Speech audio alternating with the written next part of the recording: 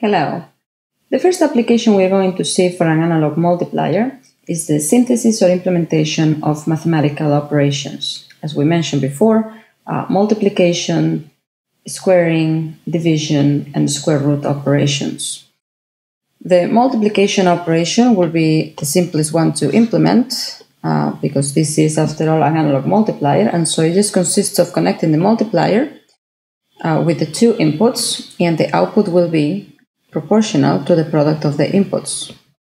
So the products of the inputs times a scaling factor k, which is going to be dependent on the particular uh, configuration of the multiplier. Squaring a signal uh, or computing the square of a signal uh, is simply achieved by applying the input signal, the same input signal, to both inputs. And so I've represented it here where Vx is applied to the two input signals of the multiplier, and in that case the output will be proportional to uh, the product of the input signal times itself, or the input signal Vx squared. In terms of division, uh, there are different possible configurations, and if you look at the datasheet for an analog multiplier, uh, it may provide some of the, the, preferred configuration for a division, but this is a common configuration uh, where we can see two signals are being applied, a numerator and a denominator. And notice that in the case of division and square root, uh, the analog multiplier is now connected in the uh, negative feedback path of an op-amp circuit.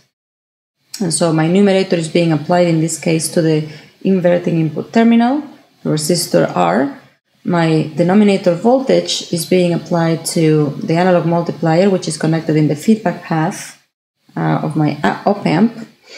And uh, the output of that multiplier is being fed back into the negative input terminal, also through resistor R. And there is a compensation resistor connected to the, uh, the positive input terminal. And so in this case, uh, we can see that what I've labeled as V out prime, the output of the analog multiplier, is going to be uh, equal to the multiplication of V out times the denominator voltage times a proportionality constant. So K times V out times Vd, which will be, as we shall see, the denominator voltage. Uh, I can also keep analyzing the circuit by applying Kirchhoff current law and saying the sum of the currents uh, entering a particular node is equal to zero, and so uh, into the node that is connected to the inverting input terminal of my op amp, I have currents I1 and I2 entering that node. And if I assume an ideal op amp, no current should be going into the negative input terminal of that op amp. And so I can say that uh, the sum of I1 plus I2 must be equal to zero. And if I express I1 and I2 in terms of uh, the numerator voltage and V out prime using Ohm's law, I can rewrite this equation as Vn over R, since uh, the negative input terminal is at virtual ground, plus V out prime over R being equal to 0. I can eliminate the, the r's, multiply both sides of the equation times r, and solve for uh, Vn, and I have that Vn is equal to negative V out prime. Or VL prime being equals to negative Vn. Perhaps that's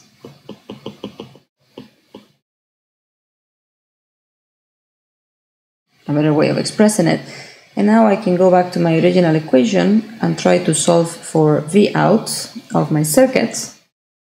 And I have that V out is going to be equal to uh, V out prime divided by K times VD as this V out prime is equal to negative Vn, I can rewrite this as negative 1 over k times Vn over Vd. And so my output voltage will be proportional to um, the division or the ratio between the two signals Vn and Vd. So this circuit performs the mathematical operation of division, and the square root operation is similar uh, similar connection to the division, except notice that now I don't apply a denominator voltage, uh, but rather the output of my op amp is fed to both inputs of my analog multiplier. And so I can apply uh, the same procedure to come up with an expression for V out. In other words, I can say my V out prime is going to be proportional to the product of the two input signals of the analog uh, multiplier, which in this case is just V out squared. So k times V out squared. Again, I have that the sum of these two input currents, I1 and I2, must be equal to zero. which implies that Vn over R plus V out prime over R is equal to zero. Or, in other words, that V out prime is equal to negative Vn. And then I have, um, I can solve for my output voltage from the original equation. I have the V out is equal to the square root of uh, V out prime divided by K.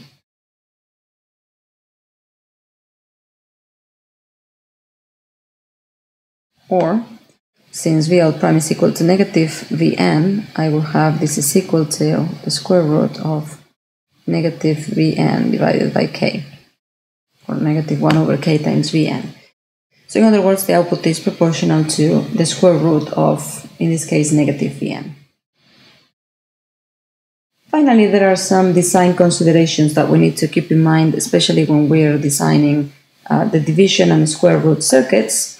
And those are basically to ensure that the op amp is operating in the linear region at all times and also ensure that the negative feedback loop is never broken. Um, an example of how this is taken into consideration could be if we look at the datasheet for the AD534. It has in the application notes, among other things, uh, the square root connection. And you can see how they've added a resistor and a diode at the output of the op amp essentially to ensure that these two conditions are met. So I definitely recommend that you go and take a look at that data sheet.